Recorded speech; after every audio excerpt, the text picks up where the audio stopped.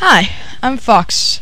Have you ever thought about plagues? No, not just thought about them, like actually thought about them.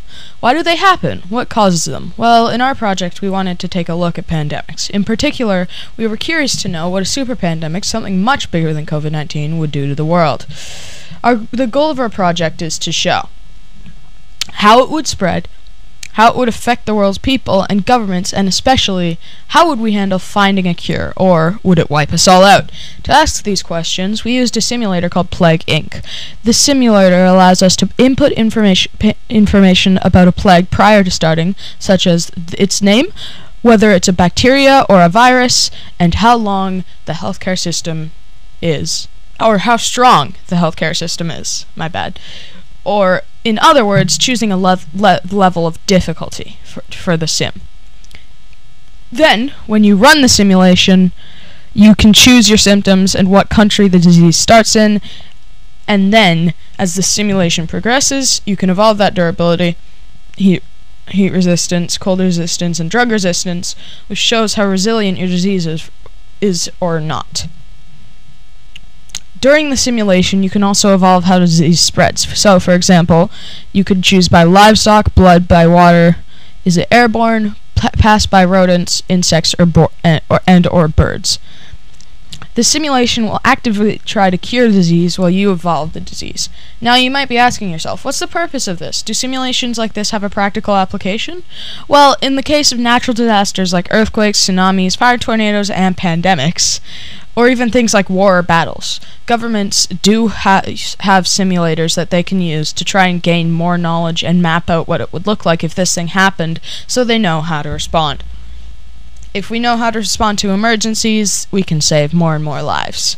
For our experiment, we tried to recreate two famous pandemics that actually happened to the best of our abilities in the simulator. Then we tried to create a made up super pandemic that would be worse than anything we've ever seen before. Then we ran simulations on each of them and collected the data to compare. The two pandemics we chose were polio and the BBP or bubonic plague.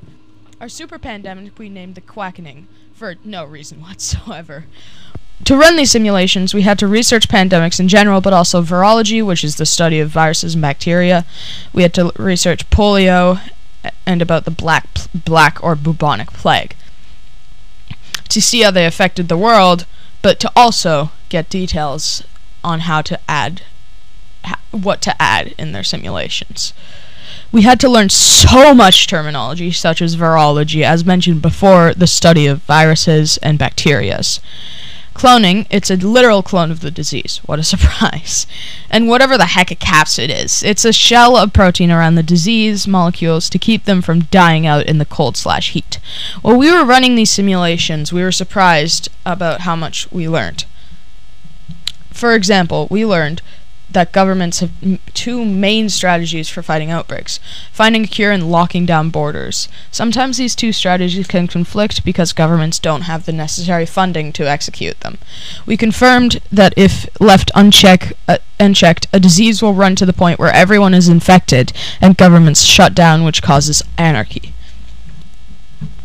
We learned that viruses and bacteria evolve themselves to make to in order to avoid extinction. They don't want to kill us, so they become endem- an endemic, a virus that never ends, like the common cold. So, a successful disease would be one that infects everyone but has a very low death rate. Our worst plague, in fact, was in fact polio rather than the quackening, because in our sim- simulation infected the entire planet and only and killed only four billion people, leaving enough people for it to be kept alive. In our made-up disease simulation, the quackening infected the entire planet but only killed 20 million people. We think this is because we evolved it to have really terrible symptoms. If a disease has really terrible looking symptoms, for example, tumor- tumors, cysts, swollen lymph nodes and pustules or open sores even if it is not necessarily da- that dead- deadly governments and people will jump on jump on it trying to develop a cure and shut down the borders as much as possible. Our most deadly disease actually had symptoms like insomnia, massive fatigue, mental breakdowns, and organ failure. All of these symptoms don't look that bad on the outside, so we found that the world moves moved more slowly towards a cure. If we were to do this project again, we would leave more time in our schedule for more simulations. It would be fun to try to recreate all the famous disease pandemics and then compare them to see what makes one more deadly than the other or one more terrible than the than the other. We learned that there are many, many factors in this that aren't just about the disease itself, but about people and how they react to situations, about governments and how they allocate resources, and about different cultures and and how that affects how the world reacts. Thanks for watching. Have a great rest of your day.